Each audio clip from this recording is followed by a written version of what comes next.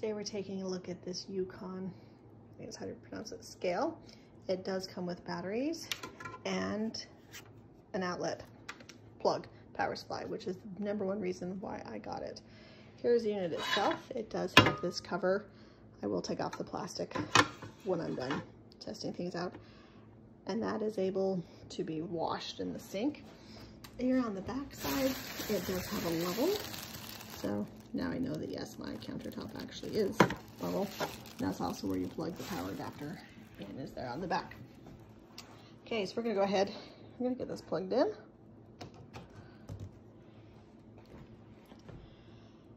Okay, gonna zero it out. I don't know why it blinks like that. We're gonna go ahead and set this to pounds. I've got this scale over here that I've used for last few years. I know it's pretty accurate. I bought these onions today at the grocery store. So two pounds, 11.9 ounces. 12 ounces would be 2.75 pounds. So we'll put, go ahead and put this over here on this one. One of is off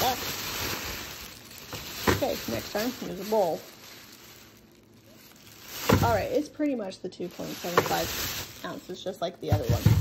So I do feel that the scale is accurate. What I don't understand is why you can't just turn it off because you push the button and it doesn't happen.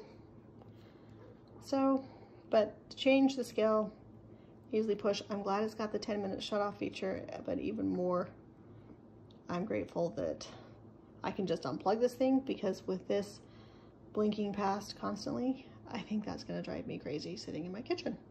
So, but good scale and I do recommend it. Seems to be accurate.